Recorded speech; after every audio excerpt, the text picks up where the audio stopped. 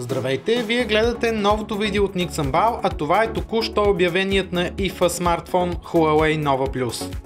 Бройките от апарата ни бяха раздадени минути след приключване на конференцията на Huawei тук в Берлин и на мен ми се падна моделът Nova Plus в златно, така че нека бързо разопаковаме котията и видим какво има вътре.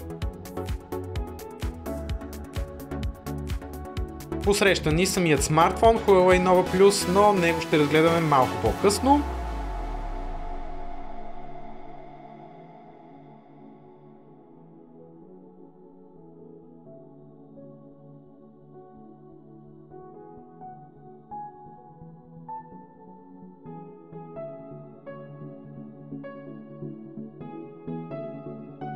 Отдолу първата котийка носи единствено иглата, с която се отваря гнездото за наносим картата и microSD картата.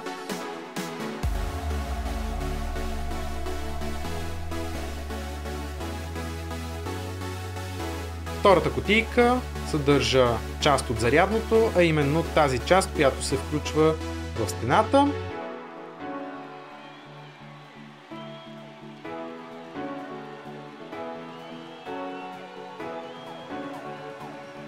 И третата котийка крие слушалките, които не са златни като самия телефон, идват в бял цвят, имат контрол за силата на звука.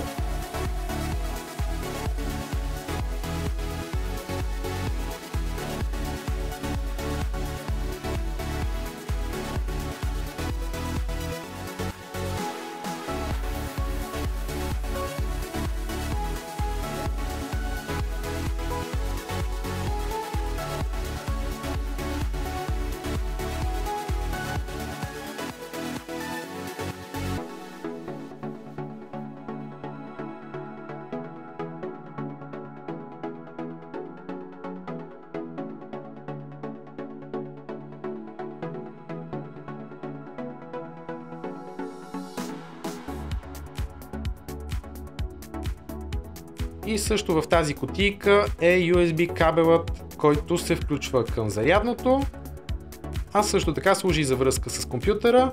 Виждате, че той е с новия USB Type-C стандарт, който Huawei използва още от модела Huawei 5.9, обявен по-рано тази година. И добрата новина е, че продължава да налага този стандарт Type-C и при моделите от среден клас.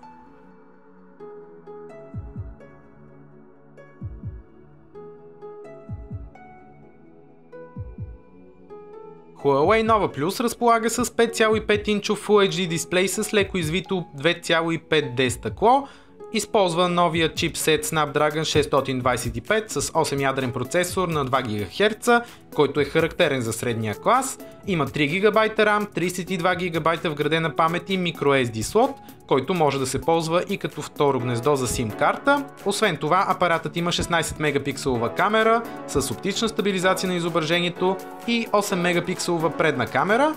Записът на видео е с 4К резолюция. Huawei Nova Plus идва с метален корпус, който е тънък 7,3 мм и тежи 160 грама. Батерията в този корпус е скрита, заключена за потребителя и с капацитет 3340 мАч, като според Huawei с едно зареждане можете да направите поне 1000 снимки.